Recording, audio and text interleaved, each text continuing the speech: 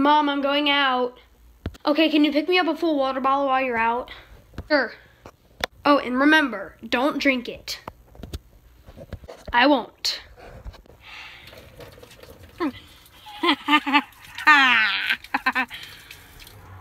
Here, Mom.